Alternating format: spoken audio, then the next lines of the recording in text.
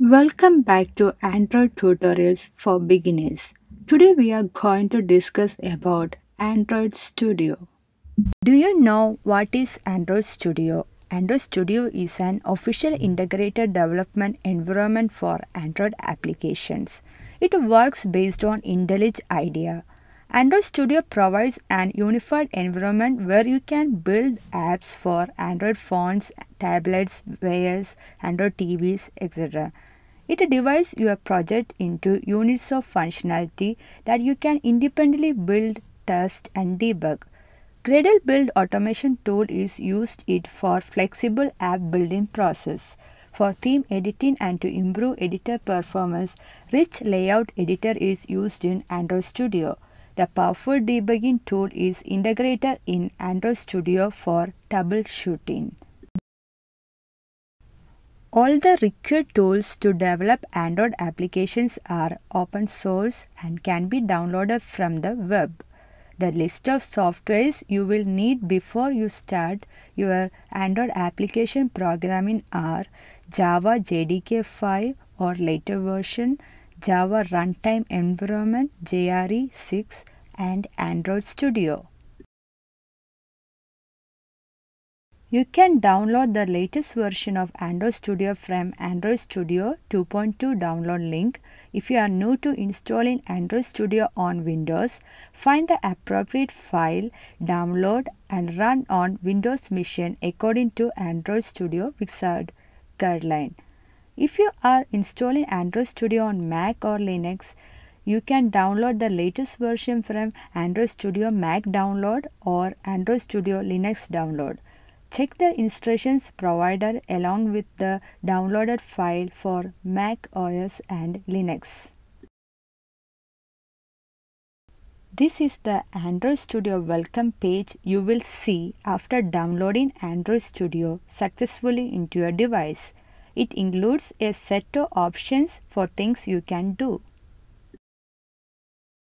Android Studio starts up you can see projects you have created on this left panel. If you are a beginner, then you are creating a first project, so this area would be empty.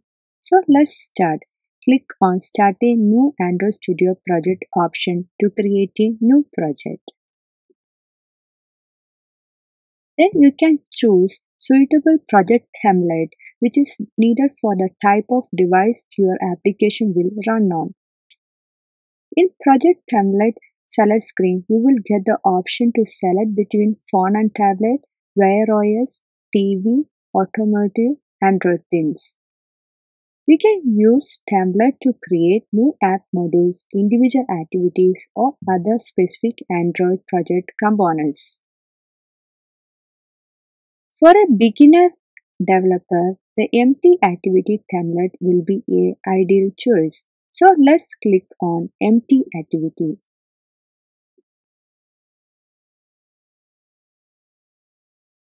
Once you select Project Template, Android Studio asks you to configure your project by specifying the details. You have to enter the name of the application as you wish. After that, you can enter package name should contain both company domain name and application name. In the project save location, you should give location of all the files of your project which you have worked on will be stored. Here you can choose the programming language to build the application. Now I am selecting Java. Minimum SDK. It's important to choose. Do you know what is minimum SDK? The minimum required SDK is the lowest version your app will support. Your app will run on devices with this API level or higher. It won't run on devices with a lower API. When you develop apps, consider which version of Android your app to be compatible with.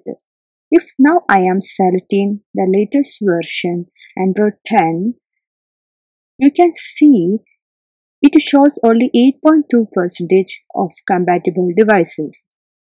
Now I am selecting the Oreo version then app will run on approximately 60.8% of devices. After that, you can select finish button.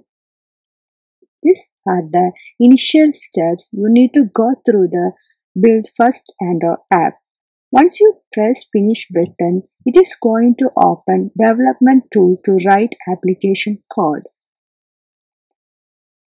Android Studio creates two files named called main activity Java and activity XML file. Thank you for watching our video. Please stay tuned for upcoming Android tutorials.